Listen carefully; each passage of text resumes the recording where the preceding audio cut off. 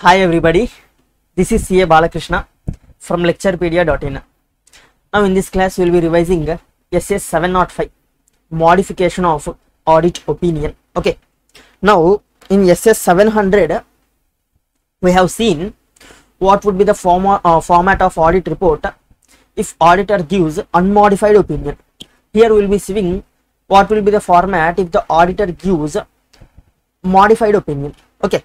Basically here we will be uh, discussing the types of modified opinions and what are the situations in which modified opinion will be given by the auditor. Okay.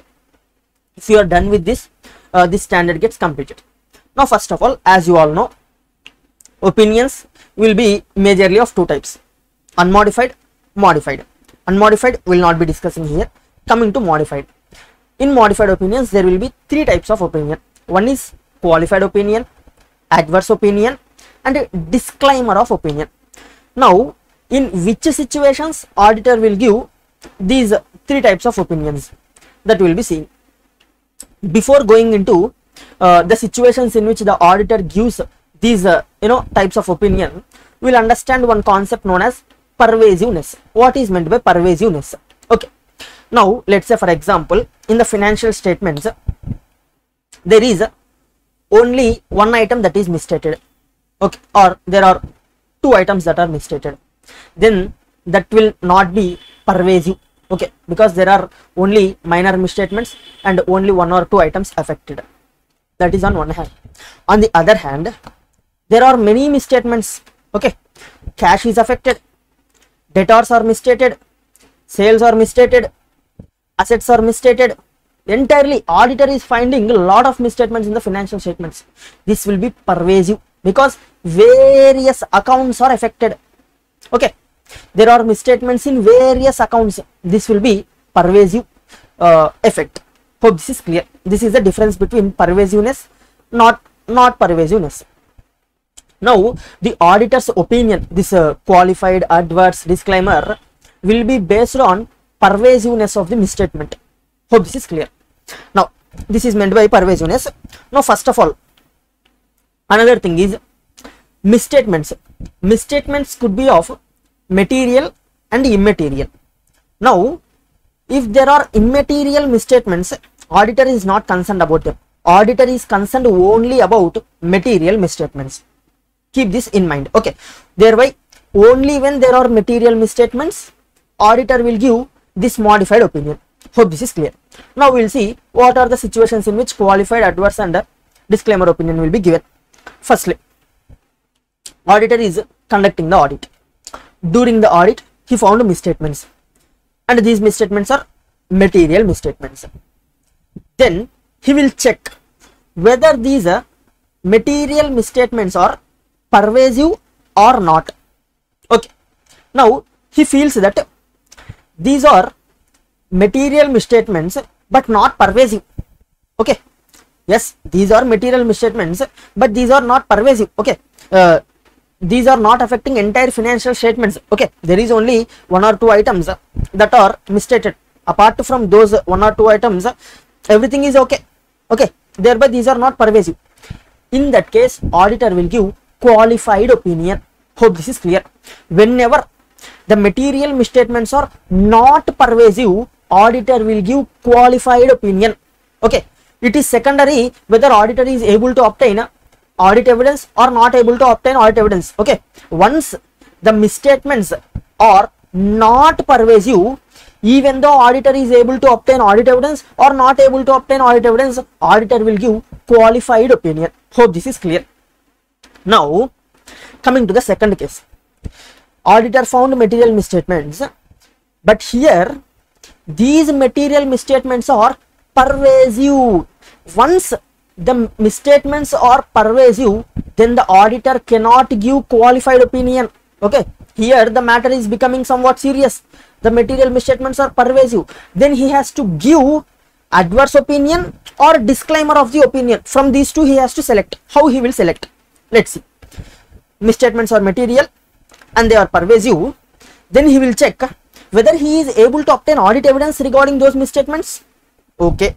Auditor says that yes i am able to obtain sufficient audit sufficient and appropriate audit evidence that these material misstatements are pervasive. I am having audit evidence. Then you give adverse opinion. Okay you are having audit evidence that these misstatements are pervasive and these misstatements exist. Thereby since you are having the audit evidence you can happily give negative that is give adverse opinion. Hope this is clear. And the second situation auditor is not able to obtain audit evidence. Okay. Misstatements are material. They are pervasive.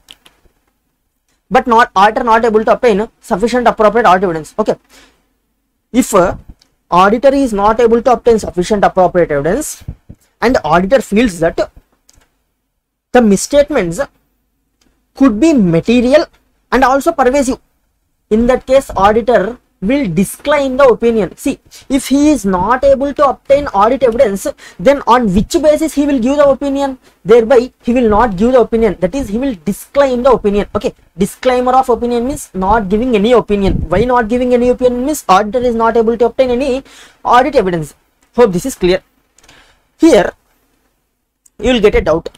Sir in the first case also in the qualified opinion portion also you said that once uh, misstatements are not pervasive you give qualified opinion whether auditor is able to obtain audit evidence or not able to obtain audit evidence.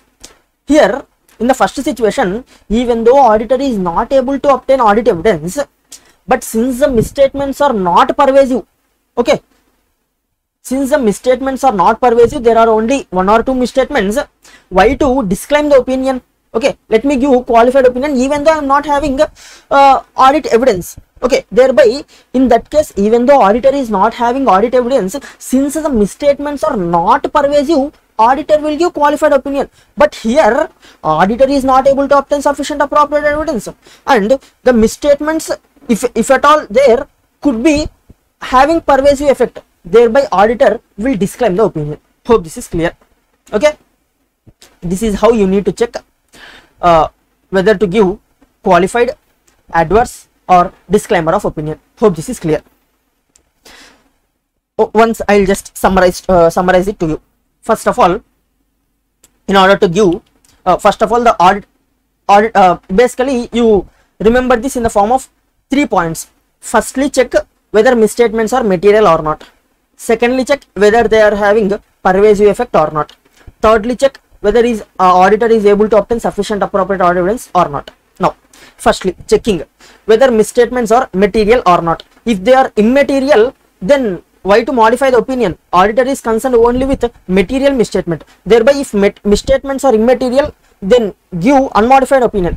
If misstatements are material then yes come to modified opinion. Next step. In this modified opinion of this which one to give? Check whether these material misstatements are pervasive or not.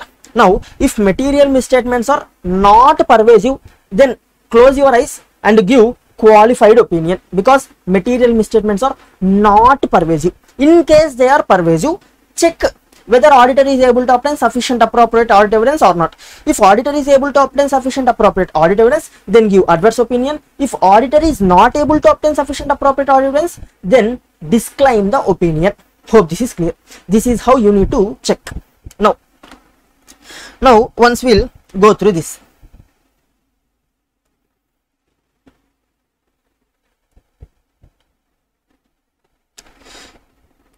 Yeah.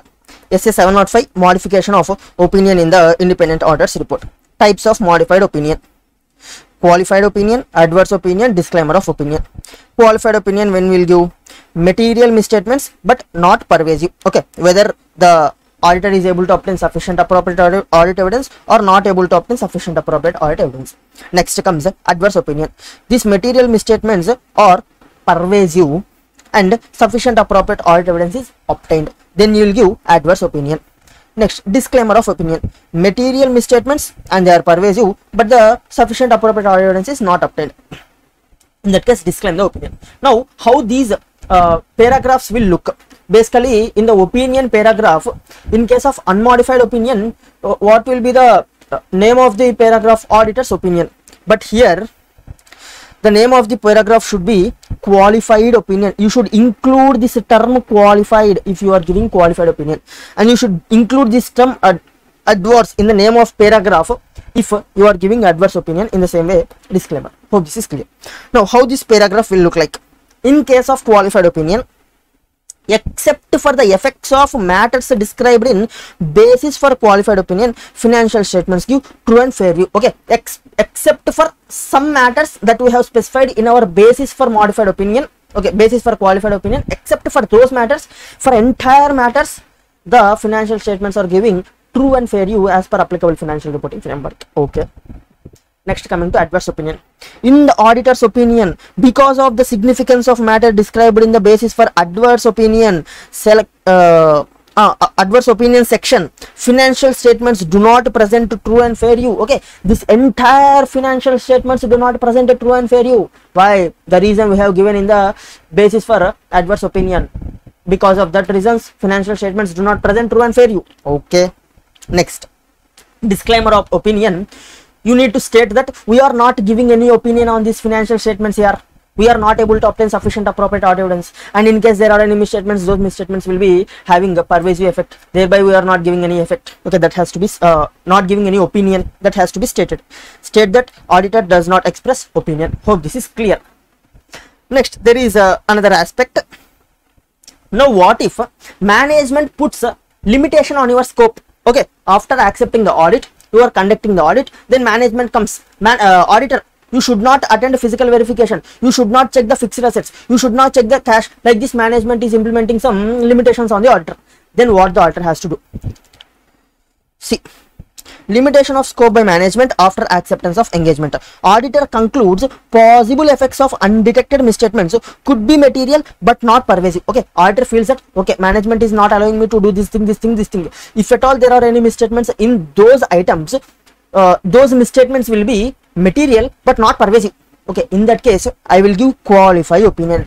In case i feel that the material uh, the misstatements that could be present in those items could be pervasive okay could be pervasive. In that case whether withdrawal is possible i will check. Okay management is not allowing me to uh, check those items. And if at all there are any misstatements in those items those misstatements would be pervasive. Then i will check whether i can withdraw from this engagement. The answer is yes.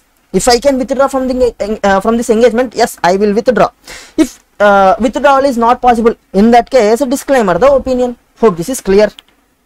By this uh, SA 705 has been completed uh, and in the next class we will be revising SA 706 hope this is clear.